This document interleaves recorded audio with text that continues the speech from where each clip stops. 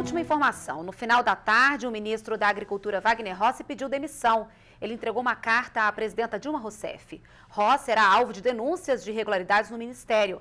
Na carta, ele rebateu todas as acusações.